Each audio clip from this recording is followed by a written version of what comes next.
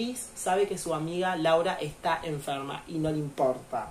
Bueno, les cuento. Beatriz y el padre van al hospital a ver los resultados y ella al parecer tiene una enfermedad que está avanzando. La enfermedad no tiene cura y la única forma de enfrentar el avance es o operarla o conseguir un trasplante de hígado. Igual aunque la operen, eh, claro, necesitaría el trasplante, sí o sí. Entonces es una enfermedad que no tiene cura, se, tipo, si la enfermedad avanza, pero si tú tipo la tratas a tiempo, deja de avanzar y queda desde donde se quedó. Entonces no sería tan riesgoso para ella. Pero si Laura no se opera, podría eh, causar la propia muerte de, ella, ¿entienden? Porque está enferma. Así que bueno, el padre de Laura anda preocupado con la hija, la lleva de acá para allá por el tema de los estudios y en medio de eso unos chabones se acercan y ponen al padre Laura contra una camioneta y terminan secuestrando a Laura, ¿bien? El padre se desespera y bueno, mientras tanto, eh, quien tiene secuestrado es Sebastián y Beatriz. Agarran y lo secuestran a... O sea, no secuestran al padre, secuestran a Laura para pedirle dinero al padre. ¿Entienden? Así que bueno, ya... Eh, tienen todo pronto. Pero el padre de Laura llama a Nuria para comentarle lo que le pasó. Así que Nuria sale corriendo a la casa del padre de Laura, porque Nuria es muy amiga de Laura, porque ella va al dicho y eso, y son muy amigos. Entonces Nuria va a apoyar a el padre de Laura. Cuando van ahí, bueno, ya van a ver si tienen alguna noticia, ¿bien? Pero mientras tanto, eh, pasa lo siguiente acá, que es que, bueno, ya los chabones estos que secuestraron a Laura, llaman al padre de Laura para pedirle que quieren, tipo, para decirles que quieren 5 millones de pesos y que lo quieren en 24 horas. Y y el padre de Claudia les pide que por favor eh, le den a la hija, que les da el dinero, pero es mucho dinero para pagarlo en 24 horas, 5 millones. Él tiene dinero, pero tampoco tiene tanto. Y les pide que por favor se la devuelvan. Mientras tanto, los policías están de fondo ya con el padre de Laura, monitoneando la llamada, a ver si pueden rastrear algo. Están grabando todo bien para ver si pueden dar con el lugar tipo donde la tienen secuestrada. Así que bueno, obviamente esta gente no le importa lo que le dice el padre de Laura, porque el padre de Laura le, tipo, le dice que la hija necesita una operación, que necesita un trasplante de hígado, que tiene que ser eh, llevada al hospital urgentemente porque podría mo mm, ¿entiendes? Entonces él quiere a la hija, pero los chabones no tienen compasión y solamente quieren el dinero. Pero Sebastián eh, sí ya conoce a Laura, así que Sebastián eh, finalmente entra al cuarto donde está Laura y le termina confesando quién es y le va a confesar del por qué hizo todo esto, ¿bien? Y planea ayudarla para escaparse de todo esto, ya que se está arrepintiendo de todo lo que hizo, ¿bien? Porque, tipo, él lo hizo porque se, tipo, se sintió presionado por cómo vio a la madre, ¿entiendes? Pero no porque la madre tenga problemas, le da el derecho al chabón de hacer lo que hace, ¿no? Así que, bueno, ella, ella la, la van a recuperar. Tipo, la policía la va a encontrar, ¿bien? Quieren saber en qué termina todo esto, tipo, se tienen que ver la parte 4, ¿bien? No voy a mostrar imágenes ni voy a dar detalles por tema de política, ustedes pueden ver los capítulos en el canal de YouTube, tipo de, como dice dicho, ellos también ya están censurando, yo la verdad solo cuento acá y por si acaso no muestro nada. Así que si quieren saber en qué termina todo esto, danse la parte 4. Pues se las cuento en el próximo video.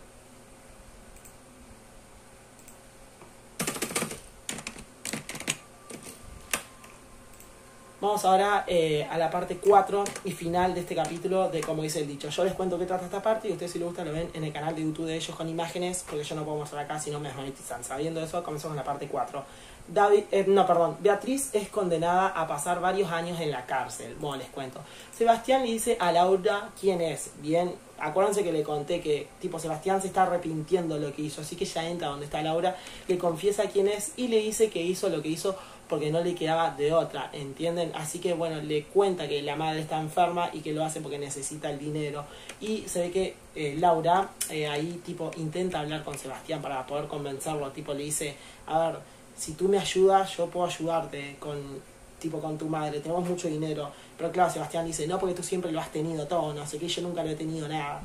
Y claro, y ahí tipo Laura le dice, ¿cómo que lo tengo todo? Si estoy enferma, me estoy por... Mo mm.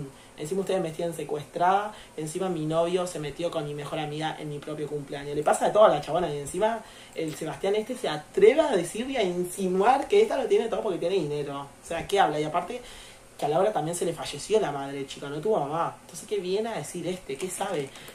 Pero eh, obviamente Sebastián no la va a ayudar. Bien, todos creyeron que no, que la iba a ayudar si la liberaba. No. Bien, así que bueno, pero de igual manera, eh, mientras tanto, ¿qué está pasando? Lo siguiente. Eh, Beatriz era la mejor amiga de Laura, así que se enteró que está perdida. Entonces va a la casa del padre Laura, también va Rodrigo, eh, la ex pareja de Laura. Iban todos a la casa, tipo de, de ella, y bueno, eh, ya entonces está ahí. Entonces ahora Beatriz se va a enterar de que el padre ya está con la policía, que están monitoneando todo. Entonces se podría complicar el tema de que, bueno, la policía la pueda encontrar. Porque si Beatriz le avisa a Sebastián que están monitoneando todo, él podría moverla del lugar. ¿Entiendes? Pero bueno, mientras que Sebastián ya después... Eh, les digo, Sebastián vive con la madre, bien, la madre está enferma, la madre está en el cuarto, no puede caminar, así que la madre eh, necesita ayuda para todo. Tipo, el hijo le da de comer en la propia boca y siempre está con ella porque la ama. Pero la madre escucha ruidos y le pregunta a, tipo, a Sebastián a ver por qué hay tanto ruido. Y Sebastián le dice que no, que invitó a un amigo, que está haciendo una fiesta, pero es mentira. Como la madre no se puede levantar, está utilizando la casa para tener secuestrada a Laura, ¿entienden? Y los amigos que están ahí son las personas que están haciendo todo esto. Bueno, Beatriz llama a Sebastián para decirle que la policía lo está monitoreando todo. Así que bueno, como se asusta, lo termina admitiendo, ¿bien? Pero ¿qué pasa? Eh, Sebastián finalmente eh, cambia de opinión y decide ayudar a Laura, ¿bien? Ayuda a Laura, pero en medio de ayudar a Laura, a Laura él recibe, tipo, no puedo decir nada, ¿bien? Ustedes lo ven ahí con imágenes, pero tipo, eh, él recibe un piu piu piu, ¿entienden? O recibe una bueno. Así que bueno, ya cuando la policía va y recupera a Laura, tipo, se ve que gracias a... O sea, la policía encontró a Laura gracias a Sebastián, ¿entienden? Pero él de igual manera recibió esa puñalada. Se lo lleva eh, la policía y se lo llevan en una ambulancia para que él sea atendido. Y este chabón le pide a Laura que ayude a la madre, por favor, tipo, le pide clemencia por la madre. Así que bueno, Laura le promete que va a ayudar a la madre. Pero, ¿qué pasa? Eh, lo siguiente ya la policía rescató a Laura y se la llevan para la casa. Entonces, como Beatriz está en la casa de Laura con el padre, eh, se enteró que la policía iba para ahí. Así que, tipo, justo se quiere ir y cuando Beatriz se quiere ir, tipo, claro, Laura justo está llegando y la policía la detiene. Y le dice, ya te vas, pensé que te ibas a, a quedar para contarme cómo lo planeaste todo, no sé qué, porque claro, ya Sebastián le confesó todo a ella y ya la policía sabe la verdad, así que se terminan llevando detenida a Beatriz, ¿bien? Bueno, ¿cómo termina todo este capítulo, el final? Bueno, les cuento que termina todo esto. Laura eh, termina yendo con el padre a visitar a la madre de Sebastián, bien, para apoyarla, ya que, eh, bueno, Sebastián eh, ayudó a Laura, así que en honor a eso terminan yendo a apoyar a la madre y le dicen que le van a poner una enfermera, van a ayudar con los medicamentos y van a estar con ella para apoyarla, porque claro, ella es una persona que necesita ayuda para todo.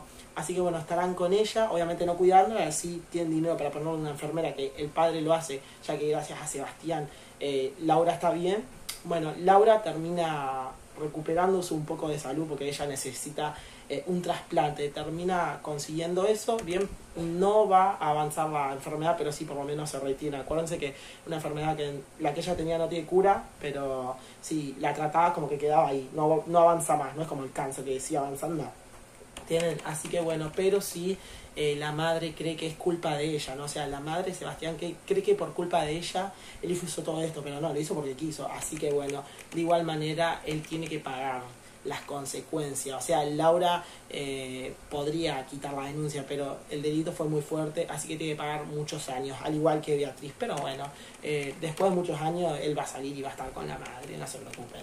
Pero sí tienen que pagar por todo lo que hizo. Tipo, Laura creyó que a lo mejor se le iba a reducir eh, la condena, tipo, por haberla ayudado, pero no no, o sea, se le reduce, pero no tanto, ¿no? Porque hace un delito tan grave, tienen que pagar de igual manera por el secuestro. Y ahí termina, tipo, el capítulo de cómo es el dicho. Suscríbanse, compartan el video, activen la campanita. Si lo quieren ver con imágenes, entren al canal de YouTube, como dice el dicho, porque yo no puedo mostrar imagen acá por tema de copyright. Ahora, digamos, game over a este video, pues yo ya me voy.